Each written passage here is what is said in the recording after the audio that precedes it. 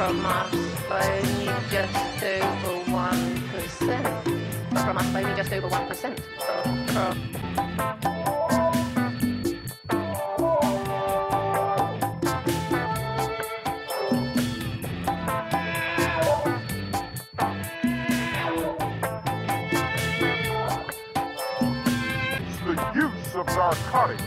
as an expression of total freedom. And total freedom to him means the absence of all restraint. Youth, he advocates